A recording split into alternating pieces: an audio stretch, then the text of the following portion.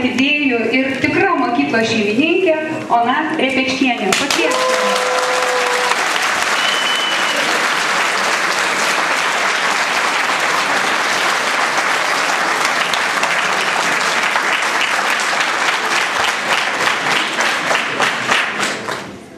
Mėly, brangus mokiniai ir brangus mokytojai.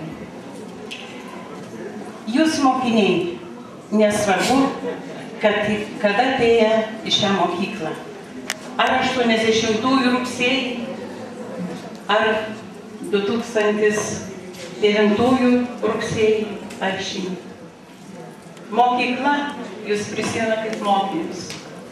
Mokytojai gyvai kalba apie jūs.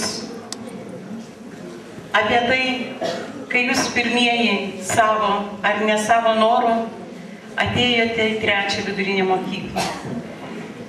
Ir istorijoje įrašyta, kiek jūs daug dirbat, kol kūrėte savo mokymosi aplinką, kurioje galėtumėt sėsti ir mokytis. Buvo šalta ir nieko, taip prašo istorija.